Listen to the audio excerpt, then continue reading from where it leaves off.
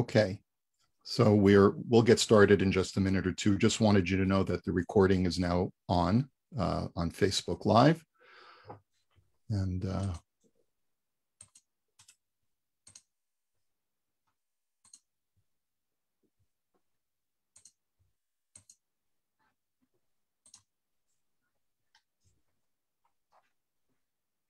hopefully uh, many people will be able to see it.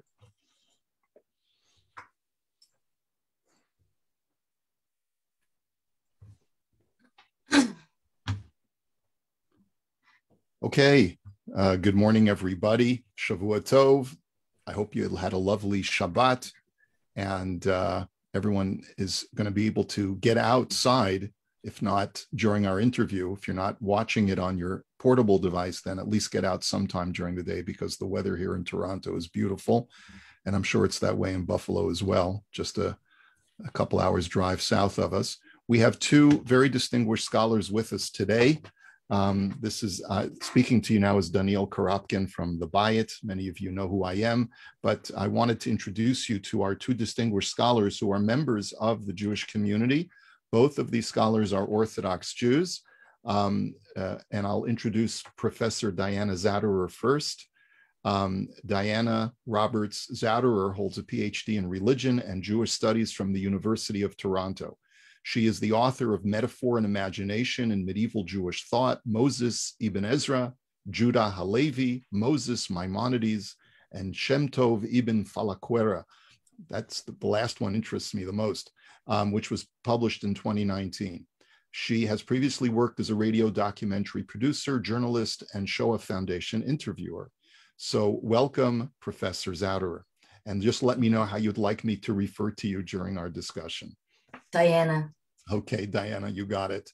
Um, and welcome to Professor Alexander Green, who was a visiting associate professor at SUNY University at Buffalo in the Department of Jewish Thought, where he also serves as Buffalo Community Jewish Educator. His research is on medieval and early modern Jewish philosophy, ethics, and the history of biblical interpretation. He is the author of two books, The Virtue Ethics of Levi Gersonides, published in 2016, and Power and Progress, Joseph Ibn Kaspi and the Meaning of History, published in 2019. He is also co-editing Jewish Virtue Ethics with Geoffrey Claussen and Alan Mittleman, an old friend of mine, which is forthcoming with SUNY Press. Welcome, Professor Green, and let me know how you'd like to be addressed. Alex is good. Okay. And Alex, it's good to see you again. Alex grew up at the Bayit. You were probably bar mitzvahed at the Bayit, probably before my time, but it's uh, wonderful to be able to see your parents uh, uh, on a regular basis who are also my neighbors. So I, uh, the, sort of everything aligned uh, uh, to be able to secure the two of you in a, in a conversation today. Um, I had recently seen um, one of Alex's book reviews about a book that was published by Dianna. And I said, I didn't know that uh, Dianna had published this work. It looks fascinating. It's a book on imagination um, uh, of uh, that is discussed by our Rishonim, by our medievalists.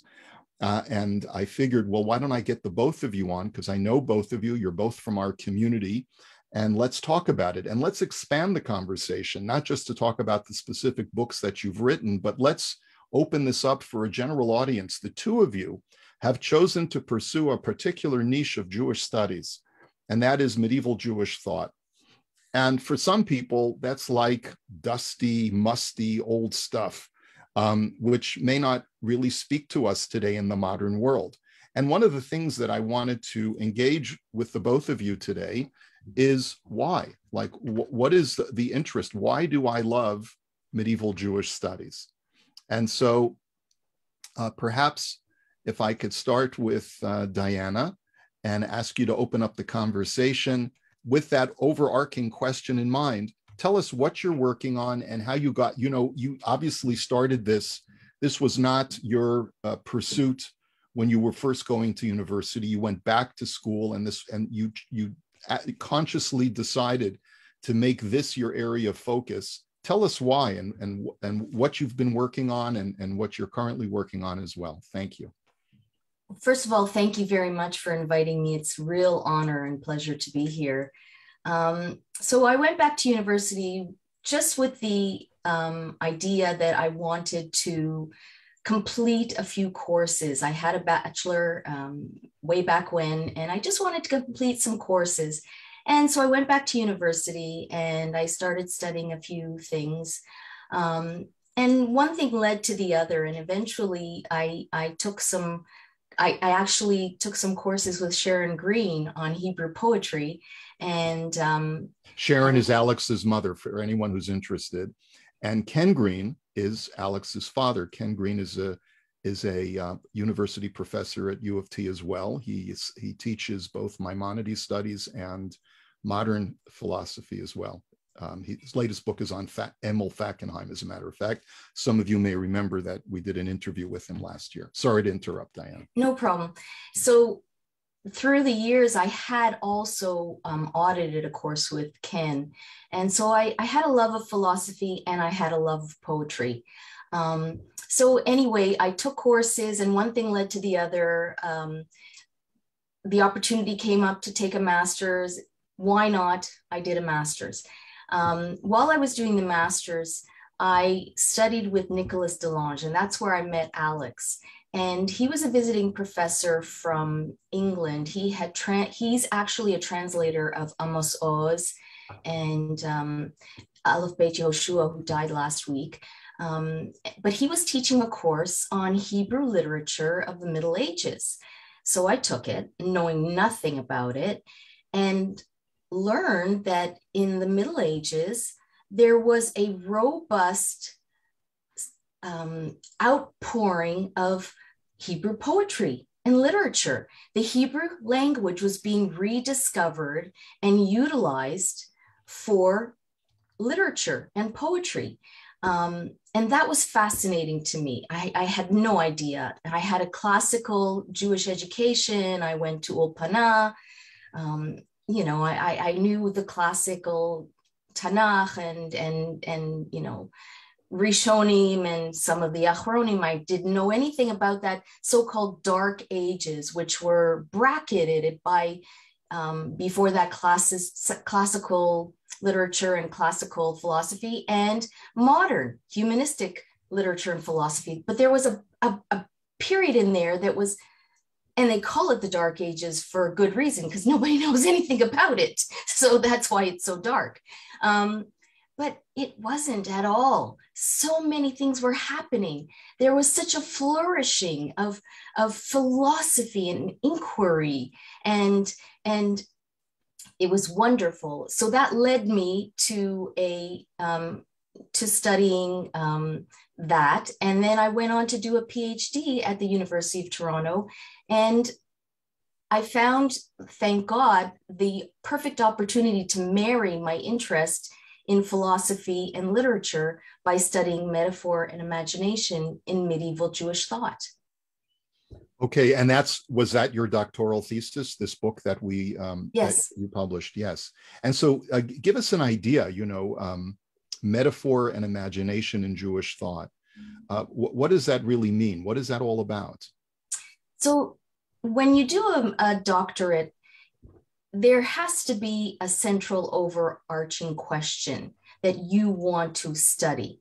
And my question was studying the Rambam, particularly in Moreh Nevuchim, in the guide, there is an emphasis on rational thought and intellect. And that's the highest form of knowledge, trying to um, move beyond the the the sensory person that you are and pe- become pure intellect. And through pure intellect hopefully we try to achieve some sort of union with the divine whatever that means. And that's a very complex topic. Well being an embodied person i was wondering well how is that even possible? How how how is that even an ideal for a human being to even try to achieve? There has to be there has there has to be a there has to be some way to to understand who we are. Well the medieval thinkers were they were very very advanced and that's another reason why i fell in love with them because um, they were, I would say, the they they were somewhat neuropsychologists not in the way that we understand today, but they tried to understand how the human brain works and they compartmentalize the brain into different compartments. And some of them are the senses and some of them are, you know, in, entail memory. And one of them in one of them is the sense of imagination.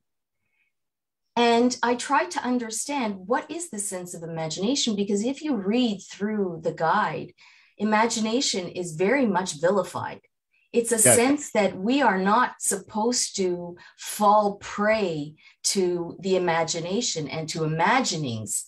And so I wanted to understand what exactly that means. And I went back to the Arabic because the guide was written in Judeo Arabic, which is Arabic, the Arabic language in Hebrew letters. And I went back with, with a lot of difficulty, but I went and I studied some Arabic and I studied with some Muslim um, students and I tried to get to get them to help me understand these. The Arabic language is, if you think Hebrew Dikduk is difficult, just try learning Arabic. There are way Arabic, more. Yeah, Hebrew Hebrew has seven binyanim. Arabic, I believe, has at least fifteen. Yeah. And and anytime I would always laugh with my my teachers anytime you learn a rule it can be broken so mm. all bets are off so anyway i i discerned that the way that the Rambam uses imagination is is because we know that the Rambam he never wasted a word. He was very very careful with how he wrote. He he talked about different types of imagination. There is false imagination, and there is the imagination that can lead you eventually, it's a stepping stone towards rational thinking. So, through this careful analysis that I did of looking at the Arabic and also discerning these um, the these um, very, very careful uh, threading out of the meanings of the word, I I tried to show in my book that that that the the attitude towards imagination shifts in Maimonides' thinking from something that is um, God given, we all have it. Um, Adam Harishon had it.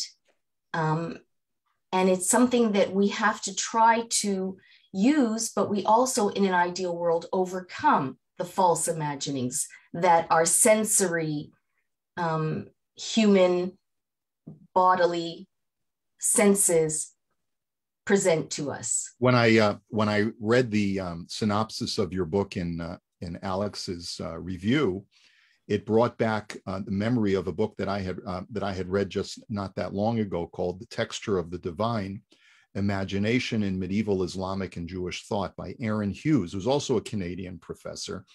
Um, and um, what we're dealing with is a very Aristotelian idea.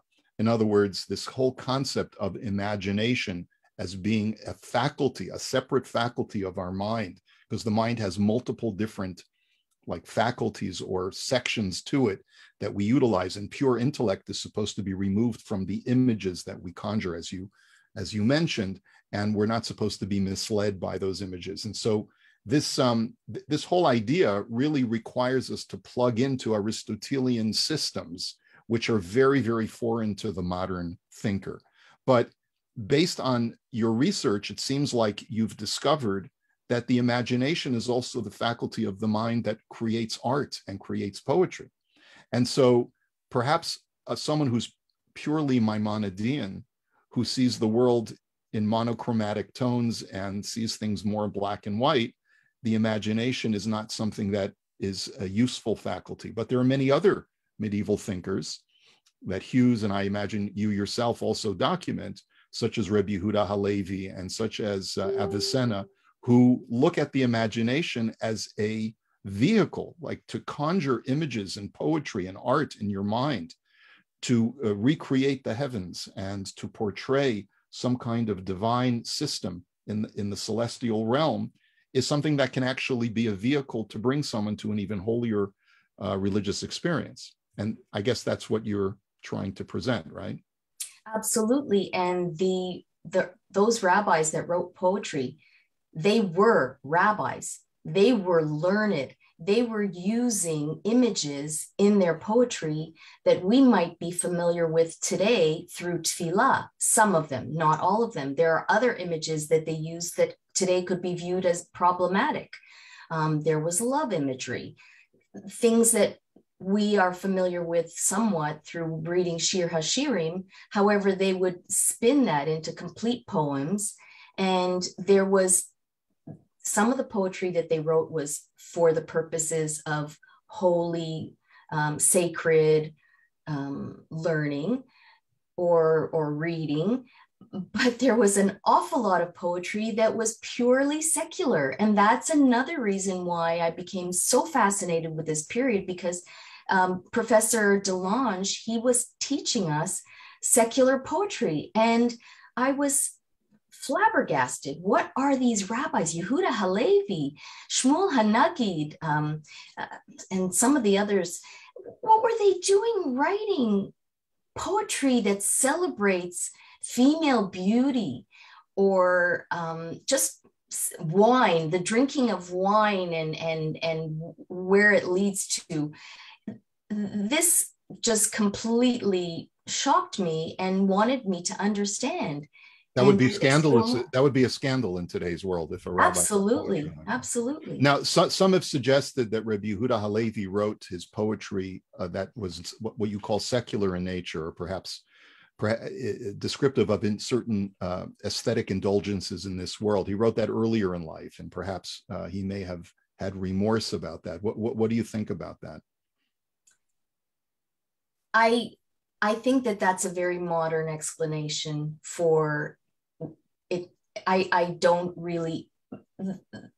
Yehuda Halevi, um, he, there are some very very good autobiographies uh, written about him, and apparently um, he was he was a celebrity. He was actually a celebrity in his time. He was invited to Egypt to to speak poetry, to participate in those wine parties. Um, you know, part of the poetry that he wrote about being on a ship and almost drowning happened when he was invited to other Jewish communities as a speaker.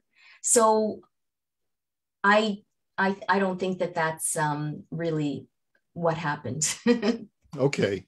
All right, so I, I'm gonna I, am gonna come back to you, Dianna. There's so much to, to unpack in this discussion, but I want to go to uh, to our friend Alex uh, for just a minute. And Alex, uh, as as Dianna was saying before we started, you, are quite prolific. You're uh, uh, in in in in the when did you when did you receive your PhD? How many years ago? I did. I got my PhD in 2013.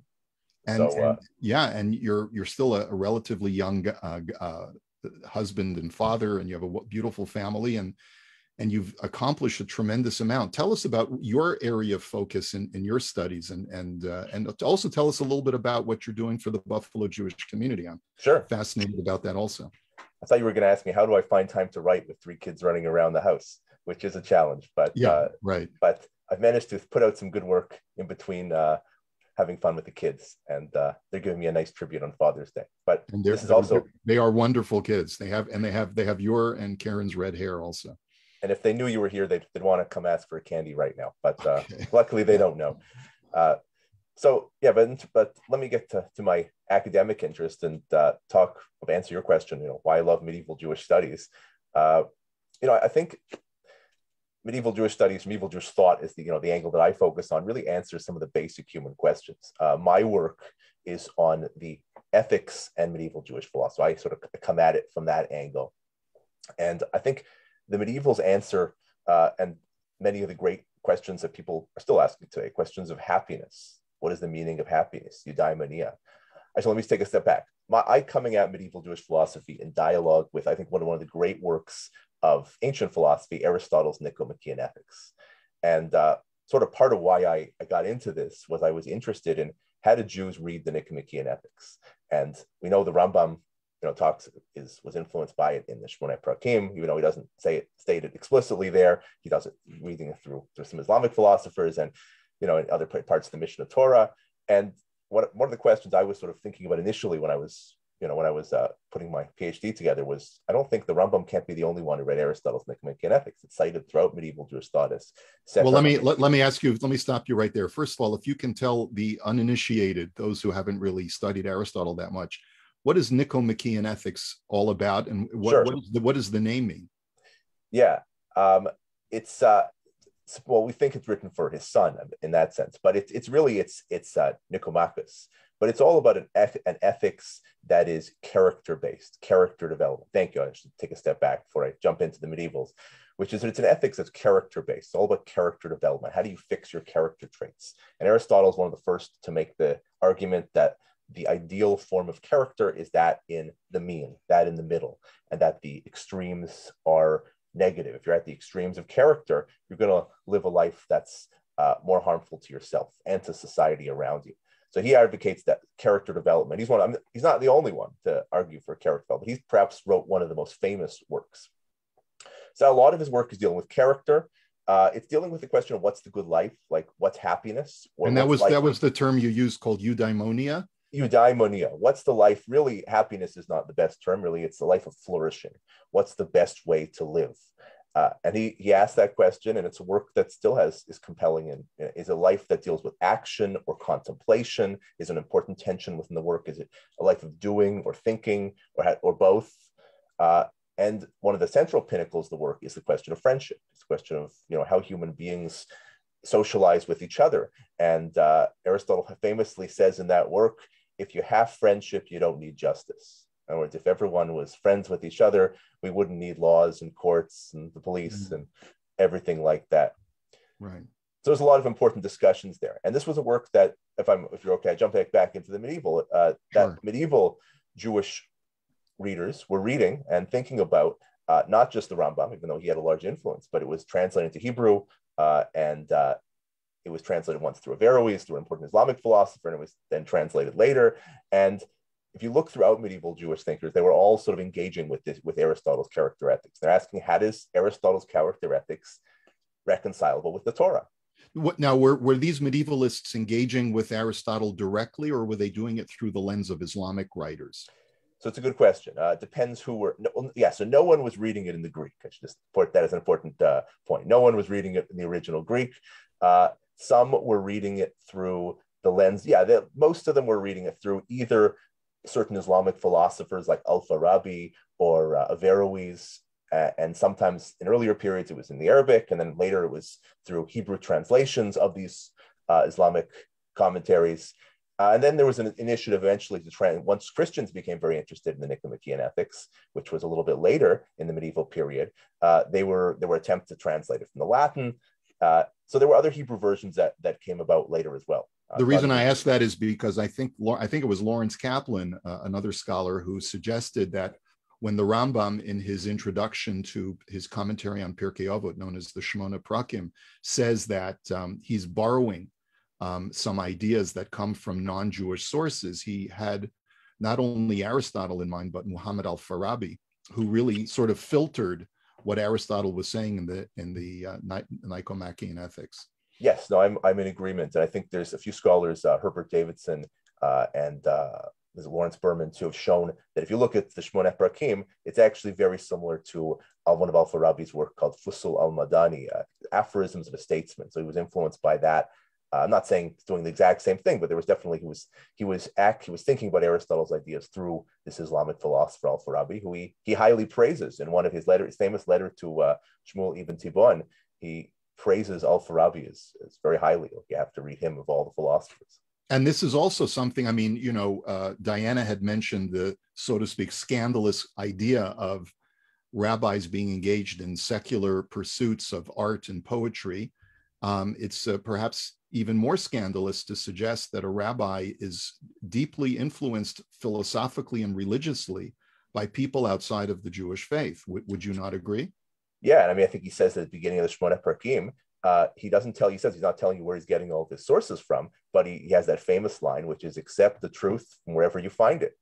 and you know you can take that line however you want but it seems that he was suggesting that he was reading widely and he didn't you know but but these ideas are relevant for judaism at the same time. And, and I, and I think he even says in Shemona Prakim, correct me if i'm wrong that the reason why he's uh, plagiarizing without giving attribution is because he knows that his readership would reject some of the ideas if they knew that they did not come from authentic jewish sources which means that you know times for the Rambam, you know, from back then, it was also controversial to let's say read something from a secular source and then repackage it, so to speak, within a Jewish framework, right? Definitely, yeah, no, definitely, he was aware of that problem that uh, reading sources from outside the Jewish tradition could get him in trouble, and uh, he was very careful about not stating, giving all of his footnotes. Which, if you did in a modern academic paper, you didn't give your footnotes, you know, you wouldn't do very well. But in the medieval period, great rabbis like the Rambam could do that.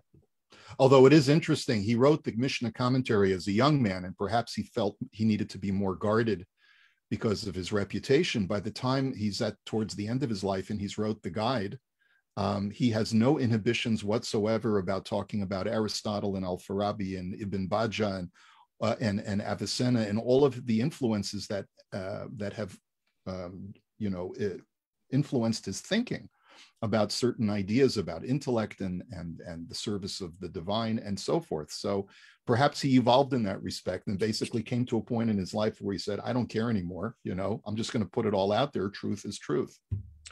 Yeah you're right. In the, in the guide he's he's given you many of his sources though it's not even even in the guide he doesn't give you all of his sources. I mean that's why that famous essay at the beginning of the Pines translation, uh, where Shlomo Pines has a has a the, I forget what it's called, the uh, philosophic sources, where he gives the list of the different sources that you wouldn't even often be aware of that Maimonides is drawing on. So it's very helpful, yes, often to look at that and see where you know he doesn't tell you when he's influenced by Ibn Bajjah or Avicenna. Sometimes he'll mention things, other times you know he's influenced and doesn't doesn't say it. Right. Okay. Now, and so you so you said that you you've come to this from the standpoint of of, of ethics, medieval ethics. Um, many people, you know, modernists and postmodernists have said that you know the period of Aristotle is passe. I, I am I'm, I'm reminded of this book that I read a few years ago called uh, After Virtue by Alasdair MacIntyre.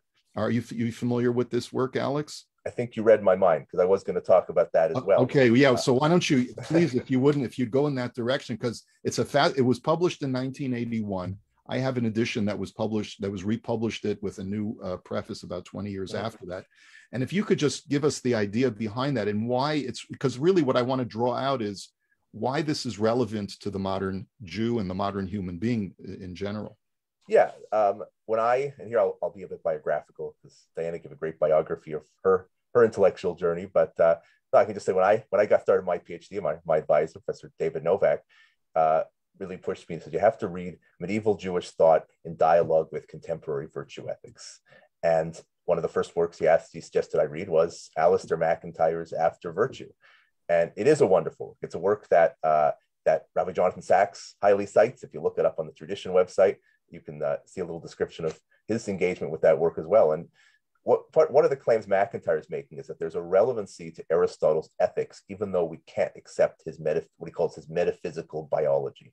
In other words, we don't believe in Aristotelian science today, because many people will just say, you know, why do I need all this Arist- Aristotle old stuff? Because we've we've already rejected Aristotle's science. We don't believe the Earth is the center of the universe. We don't necessarily we don't accept all of his teleology, his idea of the four causes and the sort of in the universe. We don't his idea of motion. He has many state Aristotle's many negative statements on women. You know, we're not going to slavery. We're not going to accept everything Aristotle wrote. It seems to be from a an era. And one of the claims MacIntyre makes, and I think it makes it very powerfully, he's not, not the only one, but I think he, his book really made a big impact, is that Aristotle's ethics still has a certain relevance. And he shows that there's been a continual debate about the virtues throughout time, that virtues are necessary for different communities to survive. And that virtues, uh, there's many different, there's been a what we call tradition of the virtues, and that if you look at different thinkers throughout history, this is not even just medieval, uh, they have different conceptions of what character and the virtues are. He talks about Jane Austen, he talks about Benjamin Franklin, and you know, and Aristotle, and showing that that that virtue as development of character still has a relevancy, even if the science, the Aristotelian physics and metaphysics is not gonna we're not gonna take that seriously today. And I think right, and and he I think he also says that um, um, modernists and postmodernists have sort of mangled or sort of uh, distorted the message over the course of centuries and which is what not, not only caused them to reject aristotle but also to come up with an ethics system which is deeply flawed yeah he's, he's a he's a critic and he does this in the early chapters. A critic of the ethics of the enlightenment and he argues that it leads to certain i hope i'm getting the phrase right intractable moral disagreements.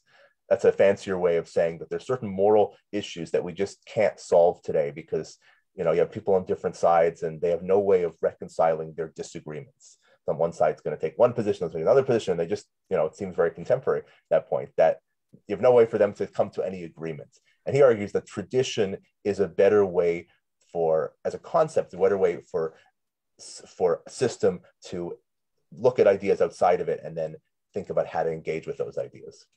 All right, and and your your work uh, is virtue ethics of the the um, the Ralbag, Levi Gersonides, and then your later work is on uh, Joseph Ibn Kaspi. Tell us a little bit about those two works and how they relate to this overarching idea of um, looking back to medieval ethics to find a greater semblance of a, of, of, a, of a cohesive structure of morality and ethics. Well, I, so what I was what I'm trying to figure out is how did different Jewish thinkers after Maimonides deal with ethics and the ethics of character, and what were they thinking? Uh, it's not just the Rambam, but there's an entire tradition of character-based ethics that continue, continues after the Rambam. And this is in engagement with Arist- Arist- this work, Aristotle's Nicomachean Ethics, as they knew as Sefer Hamidot. So what I discovered when I started looking at him, I found the Ralbag, and I, what I discovered is he has this entire section in his Torah commentary, the To'aliyot, at the end of every parsha, that he derives ethical lessons from that parsha. And uh, he, he takes the narrative side of the Torah very seriously. He thinks the narrative can be read uh, independently as a source for ethical wisdom. And what I what I derived whether it was that I tried to sort of put this together into a system. I think that he has two different ethical models. This is what I talk about in the book. Ethic uh, or certain virtues. I should go back to the term virtues. Virtues of self-preservation and altruistic virtues. He he tries to he makes the case that human beings are affected by luck or chance, and uh, it is the requirement of them to pursue certain virtues that allow them or that that enable them to overcome the forces of luck as predetermined by the stars. And he reads, and, he, and many of the biblical characters that he's you know, interpreting are cultivating these different virtues that you don't find in the Rambam. And they don't really, virtues what I call hishtadlut, I'm not sure to say I call, but what he refers to as hishtadlut and charitzut, endeavor and diligence. And these are virtues that are focused on the needs of the body, their needs of survival almost in a Darwinian way that, that human beings have to focus on survival as their primary good. On the other hand, he also has certain altruistic virtues, and he believes this is an imitation of God, that uh, chesed, chanina, and hatava, that these virtues are, are just how God created the universe in loving kindness. Uh, human beings have to imitate God's loving kindness. Uh, there's, I mean, precedent for this before Ralbag, but he's interpreting it in a certain way. And there's also a certain chanina and hatava, which is translated grace and beneficence, which are virtues of how you should act towards others in ways that not only is what they need, but what actually improves them beyond what they need.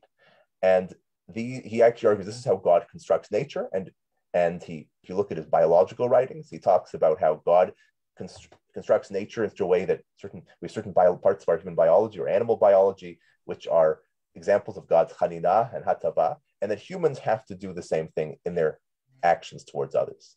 So there's a sort of a survivalistic ethics, and then there's an altruistic ethics. And then what I did, I took a step farther, further, and I said, Gersonides also believes in what I call moral conflict. He believes that that that it's not always clear what the right solution should be in making a decision, and therefore he thinks biblical characters reckon, learn how to reconcile conflicting moral demands.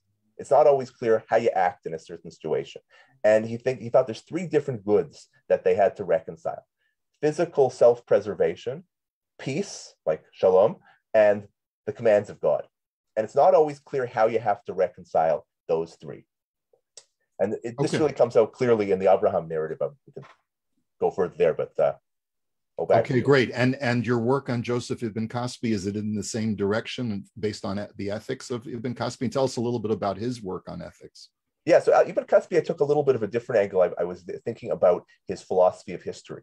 Uh, Ibn Kaspi is a very colorful character. Lived also at the same time as Gersonides in the late 13th and early 14th century. He was a uh, he was a commentator on the Torah. He wrote, wrote com- two commentaries on Maimonides' Guide of the Perplexed. He was also very interested in Hebrew language uh, and in uh, Aristotle's logic. And he, uh, he what, what I was interested in was how he read the Torah in such a way to think about historical development.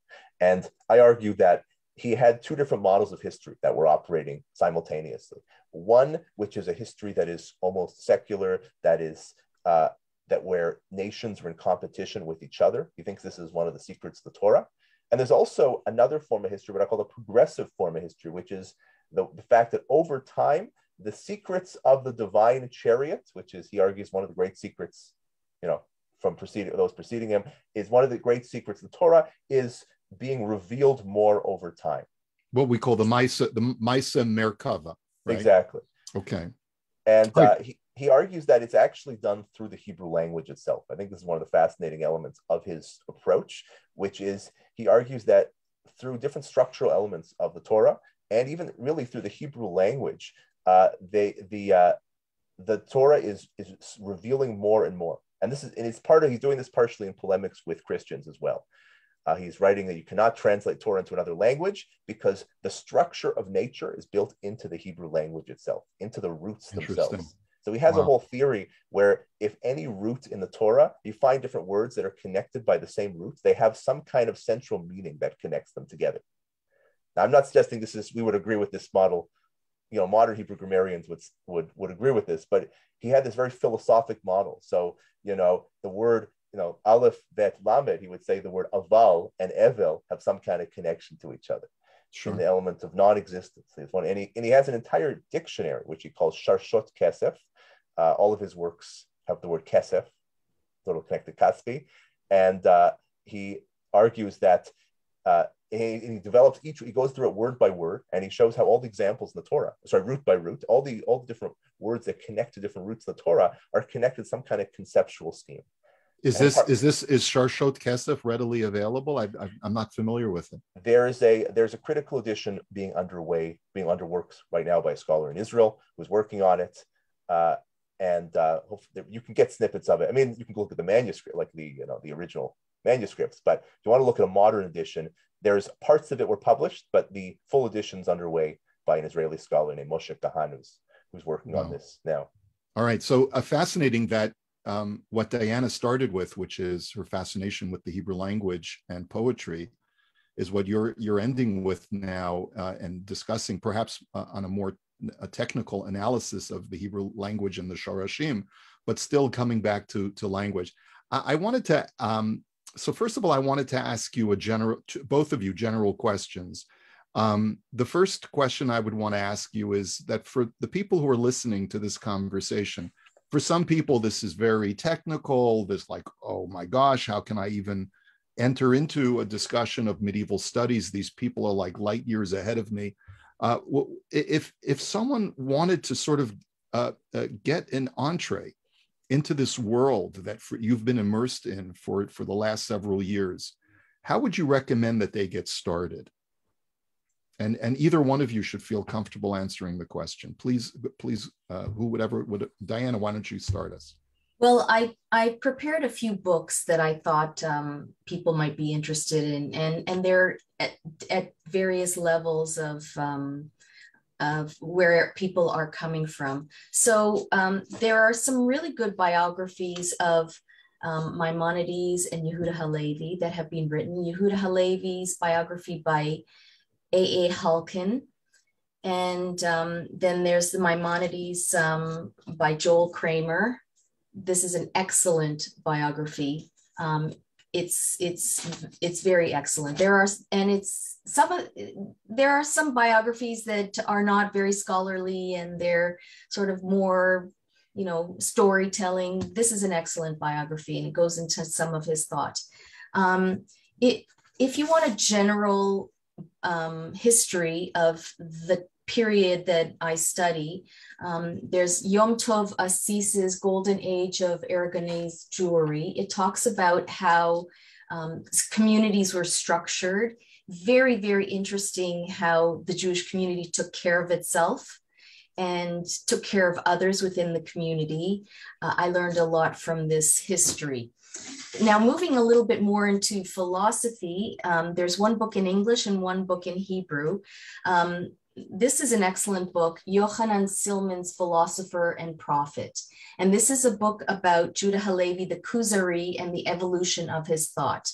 Um, it's very well researched. It talks about the themes of the Kuzari. It talks about Yehuda Halevi, um, and it and it it goes into the way medieval thinking was medieval philosophy. As Alex mentioned before, um, there's a whole system of medieval um, philosophy, metaphysics, and one of my bugaboos is when people read medieval philosophers like um, Yehuda Levi or or Maimonides, and they don't understand that yes, they were very, very steeped in Arabic Aristotelian thought, and that is you cannot divorce that from what they wrote and how they thought. So right, another this, another bugaboo uh, that, to use your term, which is a great word, um, um, is the idea of evolution of thought because that that that suggestion that uh, a great thinker like the Rambam may have evolved in his thinking from the time that he was, let's say, 20 to the time that he was 80, is in itself controversial.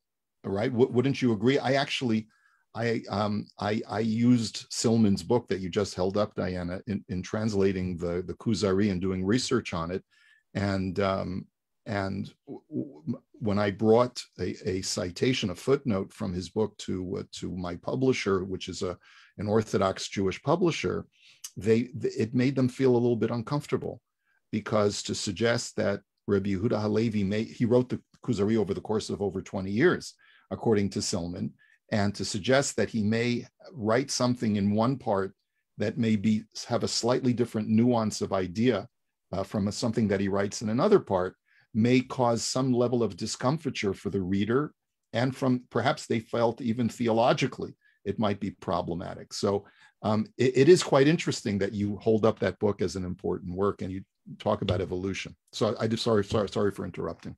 Well um, i think that we are as human beings living in communities and living within societies and the the people in those days were traveling a lot they didn't get on airplanes, they got on boats. They traveled across land. They were going from Spain to the Middle East to North Africa. Some, some were even trading in India. It's impossible to think that there were no influences upon human beings who are traveling throughout continents and and being exposed to different people staying in different people's homes and or inns or wherever and not being um, somewhat uh, um, uh, maybe assimilation is too strong of a word. Um, there are other words that people talk about, which is acculturation, which which I would say is the way we live today. We live within our Jewish culture. However, if you go to any wedding and you say, "Oh, I heard that song on the radio in English," um, that's acculturation. Where when more when a singer takes a song that you know on the radio and turns it and puts Hebrew words to it, he's he's a sim or she they are taking in the culture.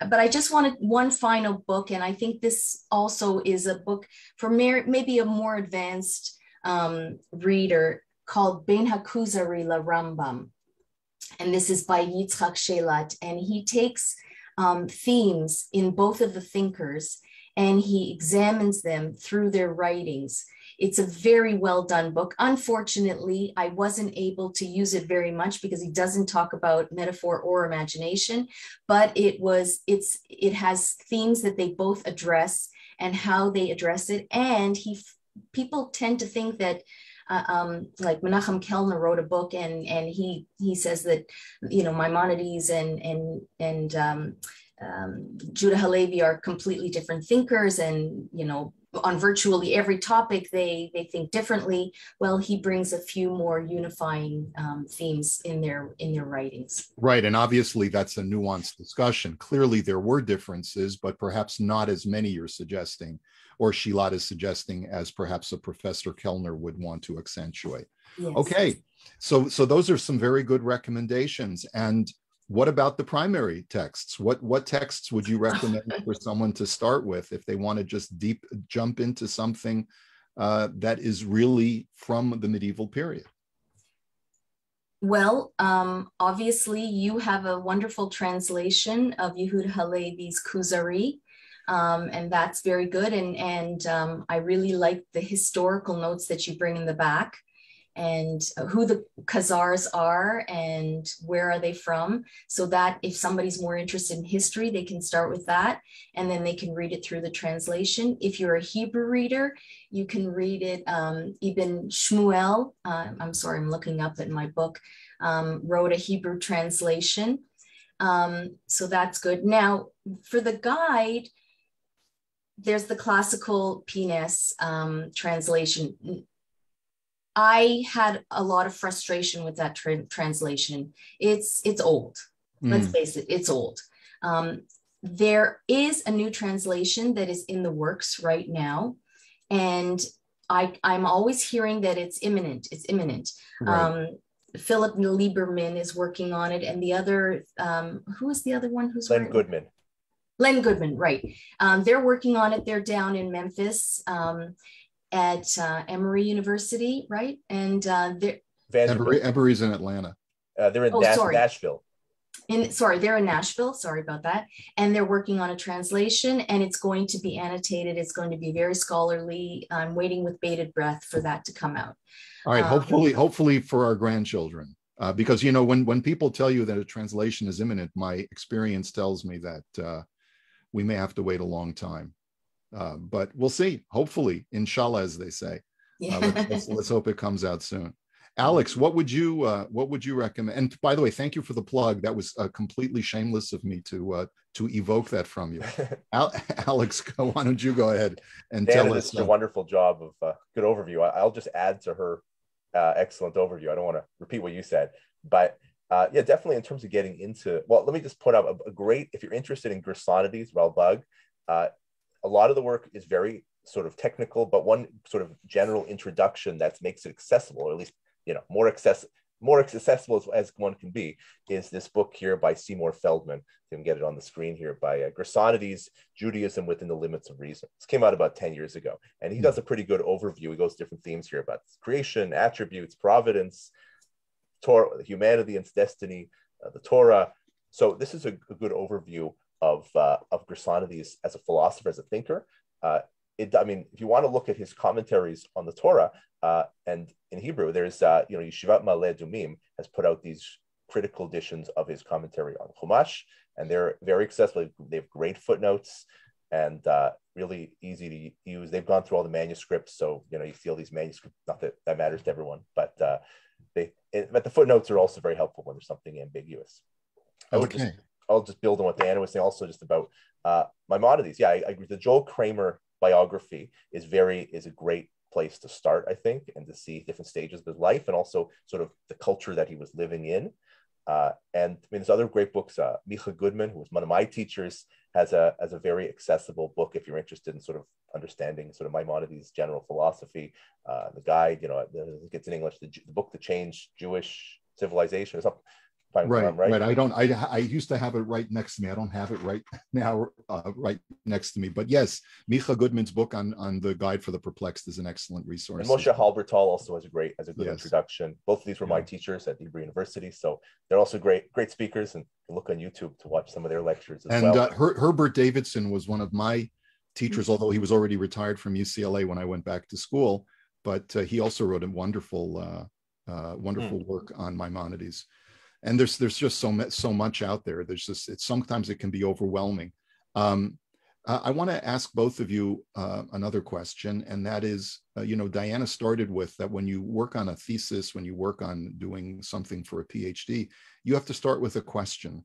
And what i wanted to ask you is um, invariably the things that we study, the things that we read, generally we are affected by and, and we are influenced and we are transformed by the things that we read, um, especially as people who are very devoted to our faith, uh, to, committed to our Yiddishkeit, but at the same time wish to take, perhaps as we get older, wish to take a more intellectual approach, a more mature approach to what Judaism is all about, what, what the basics of, of our faith are all about, and how we connect with Hashem. What I wanted to ask you is, um, not only perhaps a, a, a more basic question, um, did do your studies uh, either enhance or detract from your basic faith in God and in Judaism? And how have you changed overall um, uh, in, in as a person, as as a Jew, as a servant of God? How how have your studies um, transformed you, or if at all? And if you could just reflect on that and and as a way of sort of perhaps inspiring others who might feel that need to pursue this uh, uh, for themselves as as part of the reason why they you you you engaged in this exercise and did it meet your expectations? Where are you in your journey? And, and so forth and so on. So if i could just ask both of you to to comment on that. Do you want to start or you want me to start?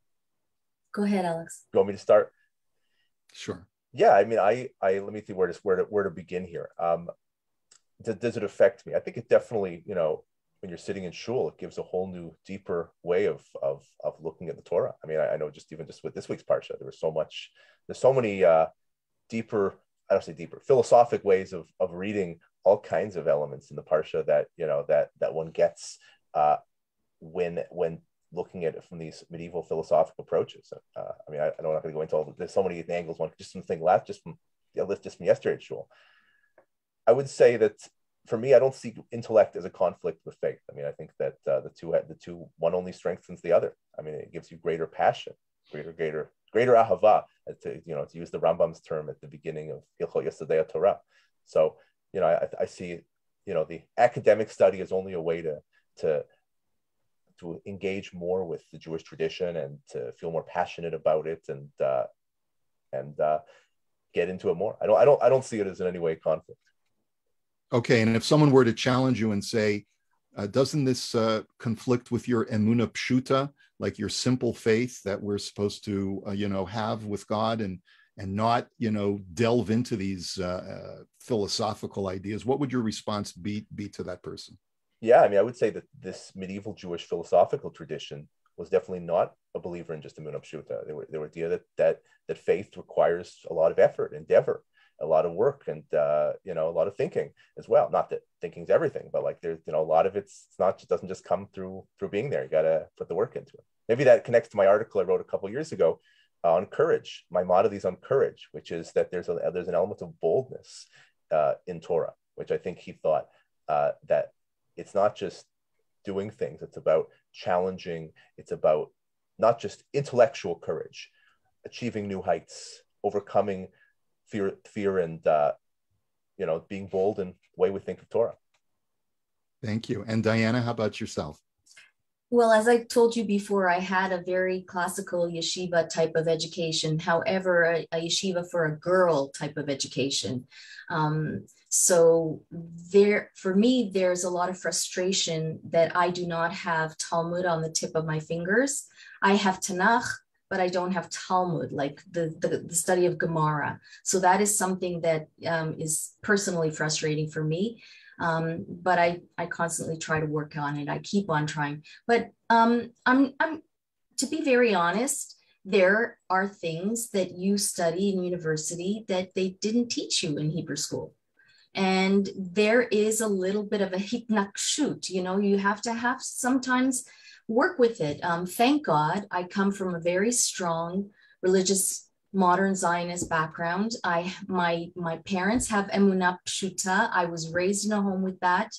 Um, i i believe that god is um, helping me in the world. I i have a constant dialogue in my head with god. Um, so that has not been affected thank Thank good, thank God. um, but there there are things that you study that that um, that then can rattle you a little bit. That can rattle the way.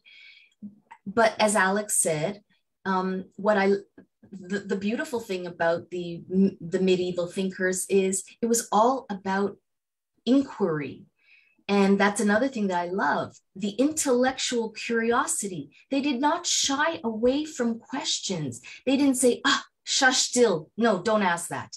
No, they asked questions. Maybe the, some of the questions were a little different than our questions.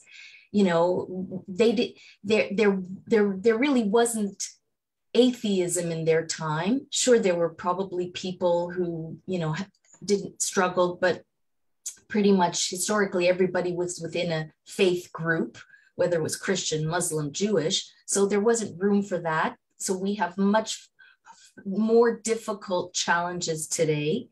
Um, and so do our children, and, and the society is very different. But they were people too.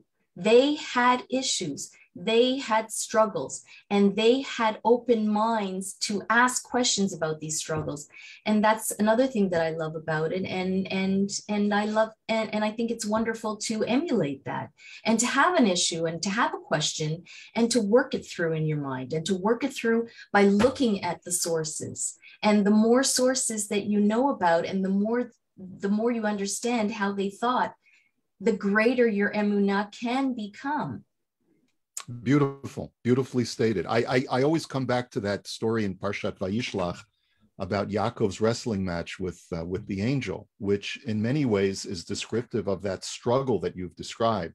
It says in Pirkei Avot, "Vehevi mit abak ba'afar um, which is to cling to the dust of their feet. But the word mit abak is the same word that the Torah uses when it talks about the wrestling match between Yaakov and the angel, Vaye Avek Ish Imo, which therefore can mean that the Mishnah is saying, don't just um, passively sit at their feet, but wrestle with them, wrestle with the words of the sages, wrestle with the Torah, and don't be satisfied until you arrive at reconciliation. And that's that's part of the. For me, I agree with you. That's part of the beauty of these medieval studies, is that even when they're they are working with perhaps um, uh, outdated science, like Alex had made reference to, you know, as far as Aristotelian physics and metaphysics or, or anatomy. Um, uh, but nonetheless, you see their methodology is to struggle and to not reject something simply because it comes from a source that's secular, but rather to say perhaps that wisdom is God given as much as the Torah is as well. And maybe there are the answers are out there and I can incorporate that to enhance my Judaism instead of shunning the outside world.